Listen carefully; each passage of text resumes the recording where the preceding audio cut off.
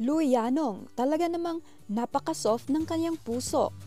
Kahapon lang ay nagkaroon ng isang pagtitipon ang kanyang mga supporters kasama si Lou. Isang masaya, emosyonal at nakaka-inspire na Lou ang nakita ng lahat. Sobrang pagmamahal ng mga supporters ang kanyang nadama sa mga oras na yon. Makikita naman talaga kung paano siya pahalagahan ng kanyang mga fans mula pa noon. Ito ang isang nakakabagbag damdamin na speech mula kay Lou kung saan nagpapasalamat siya sa lahat ng mga suporta at pagmamahal na kanyang natatanggap. Ay, message na.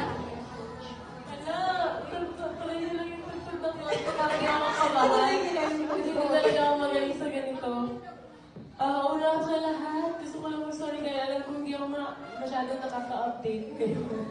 Dahil ah, isa sa mga rason dun eh, kung sa adjustment pa rin, hindi, tala, hindi pa rin talaga kaka-adjust dahil hindi ko matanggap pa na ang dami talaga nagmamahal sa akin.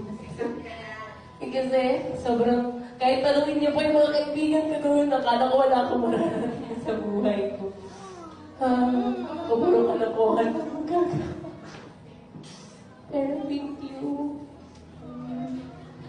Hindi ko, hindi ko alam na I will serve as an instrument uh, para ma-inspire kayo. So, thank you dahil um, feeling ko kayo din naman ang rason kung bakit ako nasama na napasama sa loob ng bahay ni Kuya dahil nung linilista ko pa yun before pa ako mag-audition Lini- Linilista ko yung pros and cons ng modeling and show business industry. Kasi dati talagang ayaw ko mag-artista. Kasi kailangan magsalita eh. Parang pageant lang eh. Pero ah, kung gagawin ko ulit yung pros doon sa show business, dadagdag ko kayo.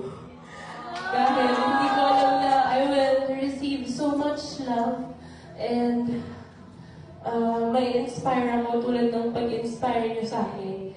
Uh, thank you dahil may sense din pala ako dito sa mundo.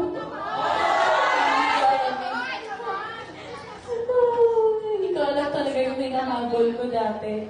Uh, until now, I'm still trying to figure it out. So, I am telling you, please don't give up on me.